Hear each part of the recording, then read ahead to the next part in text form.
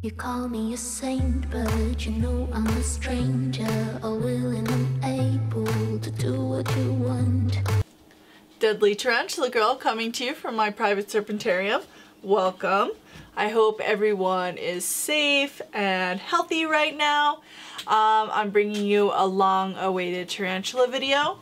Um, but before that, I did need to apologize and um, for my absence and lack of invert videos recently. Basically, long story short, between December and January, um, five, four of my five crew members moved away.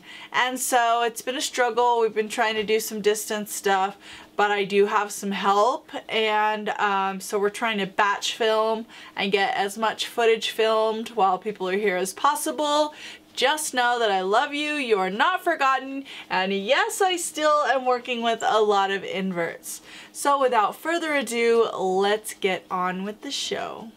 So I have an Aphonopelma chalcodes here. This was a specimen that was collected from Arizona. And if you haven't noticed, this little mommy is guarding a beautiful egg sac. Now, this is late March of 2020, and she was actually bred last August. So people ask me all the time, how long does it take to get an egg sac?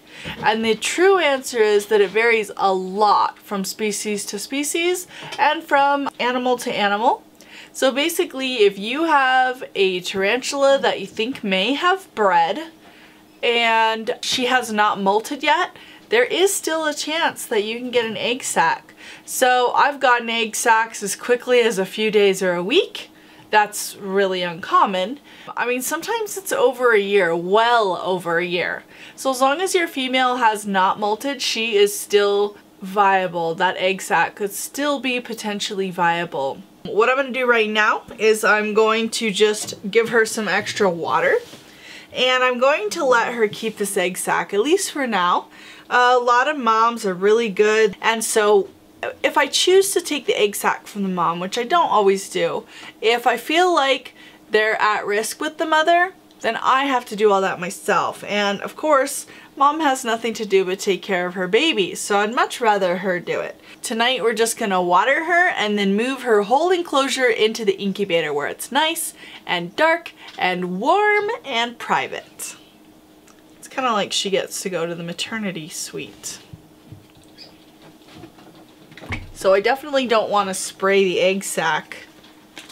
Um, so you want to aim for the opposite end of the enclosure while boosting humidity. I'm going to give it several nice sprays up along the wall and in the substrate and then even pour a little bit of water in there. So uh, I like to use vermiculite and the vermiculite is really good at soaking up that moisture and releasing it over time.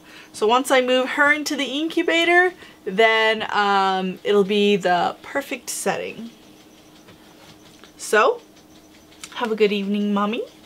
Take care of those babies. In four weeks, we'll open it up and see what we have. Well, I hope you guys liked seeing a beautiful mom with an egg sac.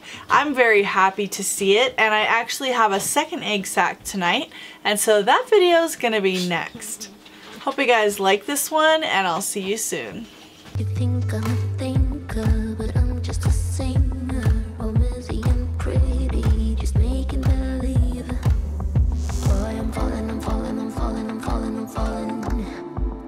obscurity, don't let me ever be this alone.